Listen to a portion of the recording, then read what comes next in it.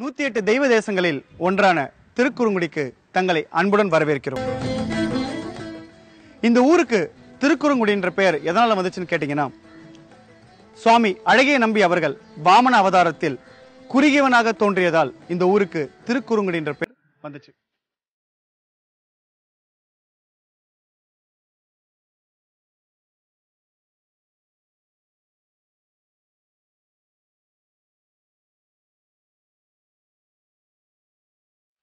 திருக்குறுங்குடி என்ற இந்த ஊரில் மட்டும் ஐந்து நம்பி கோயில்கள் அமைஞ்சிருக்கு. அது என்னென்னு கேட்டிங்கன்னா நின்ற நம்பி கிடந்த நம்பி இருந்த நம்பி திருப்பார்கடல் நம்பி திருமலை நம்பி.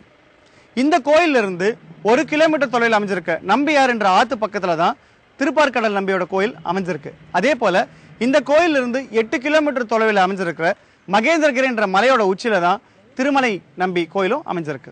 நம்பி என்ற பேருக்கு என்ன அர்த்தம்னு கேட்டிங்கன்னா அன்பு. பாசம் சத்தியம் நேர்மை கருணை.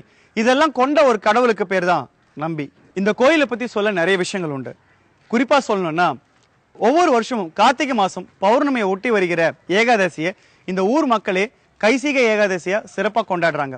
அன்னைக்கு இந்த கோயிலுக்குள்ள கைசிகை நாடகம்ன்ற ஒரு நாடகம் ரொம்ப வருஷமா சிறப்பா நடைபெறுகிறது.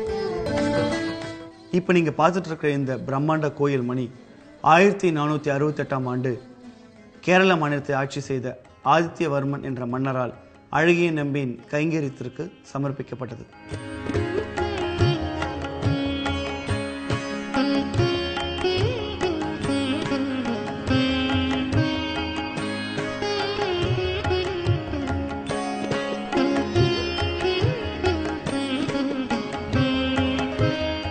சுவாமி அழகிய நம்பிராயர் சன்னதியின் பிரதான வாயிலான மொட்டை கோபுரம் என்று சொல்லுவார்கள். இது விஜயநகர அரசர்களால் நிர்மாணிக்கப்பட அதனுடைய அஸ்திவாரமானது போடப்பட்டது. மட்டையடி மண்டபம் என்று சொல்லக்கூடிய பாண்டிய மன்னனால் கட்டப்பட்ட ஒரு அழகான மண்டபம். இங்கே உள்ள யாழி தூண்கள் ஒவ்வொன்றும் நம்முடைய மனதை கவர்கின்றன. இது தாண்டி நாம் ரதி மண்டபம் இங்கே ரதி மன்மதன் நாயக்கர் கால பாணியில் வடிக்கப்பட்டிருக்கின்றன. எழுபத்தி அஞ்சடி உயரமுள்ள இக்கோபுரம் சித்திரகோபுரம் என்று பெயர் பெற்றது. உள்ளே மரத்தாலையும் வெளியில் கல்லாலையும் செதுக்கப்பட்ட ஆயிரம் ஆயிரம் நுண்ணுயிர் சிற்பங்களை நாம் காணலாம். ராமாயண காலத்து ஓவியங்கள் பாரத காலத்து ஓவியங்கள் மகாலட்சுமியினுடைய பேதங்கள் மற்றும் யாழி மற்ற எத்தனையோ விதமான கதைகளும் இங்கே நிர்மாணிக்கப்பட்டிருக்கின்றன. இவ்வூரில் பிறந்த டிவிஎஸ் என்று பெயரிட்ட குடும்பத்தார்கள் இங்கே பரம்பரையாக இருந்து வந்தார்கள்.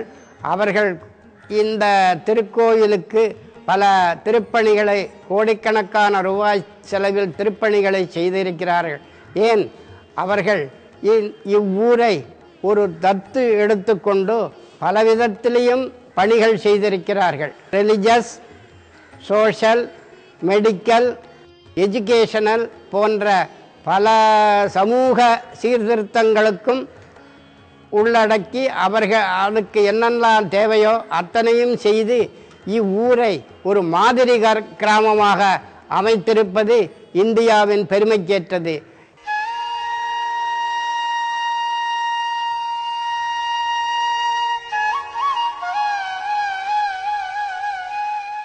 திருக்குறுங்குடி என்ற இந்த அழகான ஊருக்கு இன்னும் அழகு சேர்க்கிற விஷயமா அமைஞ்சிருக்கிறது தான் இந்த குளம்.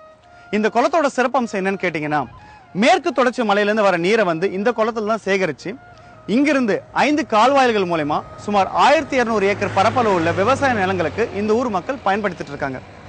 இந்த ஊரை பொறுத்த வரைக்கும் தொண்ணூத்தஞ்சு சதவீத மக்கள் வந்து விவசாயத்தை தான் நம்பியிருக்காங்க குறிப்பாக நெல் மற்றும் வாழையை தான் இந்த ஊர் மக்கள் அதிகமாக பயன்படுத்திட்டு இருக்காங்க.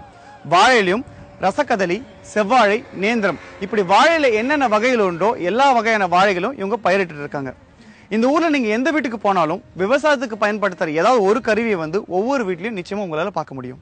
இப்போ இந்த இடத்த பார்த்தீங்கன்னா கண்ணு கெட்டின தூரம் வரைக்கும் வாழை மரங்களை வந்து பயிரிட்டிருக்காங்க இதே அடுத்த வருஷம் நீங்கள் இதே இடத்த பார்த்தீங்கன்னா இங்கே வந்து நெல்லை பயிரிட்டிருப்பாங்க இந்த ஊரை பொறுத்த வரைக்கும் இந்த வருஷம் நெல்லை பயிரிடுறவங்க அடுத்த வருஷம் வாழை மரங்களையும் இந்த வருஷம் வாழை மரங்களை பயிரிட்டவங்க அடுத்த வருஷம் நெல்லையும் பயிரிடுறாங்க.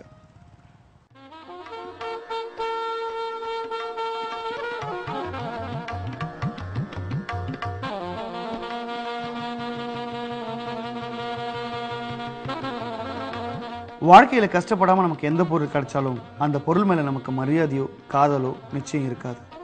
சாதாரண ஒரு பொருளுக்கே இப்படின்னா இந்த உலகத்தையே படித்த கடவுளை தரிசனம் பண்ணுறதுன்னா சாதாரண விஷயமா? அப்படி ஒரு கடவுளை தரிசனம் பண்ண தான் இப்படி ஒரு பயணத்தை நான் மேற்கொண்டிருக்கேன்.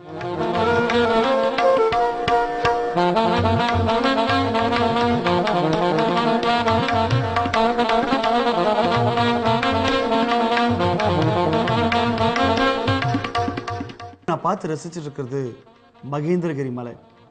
இந்த மலைக்கு ஒரு தெய்வீக தன்மை உண்டு. அது என்னன்னு கேட்டிங்கன்னா ராமர் சீதையோட நிலைமையை தெரிஞ்சுக்க ஹனுமாரை தூது அனுப்பினப்போ ஹனுமார் இந்த மலையிலிருந்து தான் தன்னோட காலை ஊன்றி இலங்கைக்கு பறந்ததா ஒரு நம்பிக்கை உண்டு. கடவுள் சொர்க்கத்தில் இருக்காரா? இல்லை கடவுள் இருக்கிற இடம் தான் சொர்க்கமா? அப்படின்ற ஒரு கேள்விக்கு இந்த இடம் உங்களுக்கு பதில் சொல்லும். சுற்றிலும் மலைகள் மலைக்கு நடுவில் இப்படி ஒரு அழகான அருவி. இந்த இடமே பார்க்கறதுக்கு சொர்க்கம் போல தானே இருக்கு?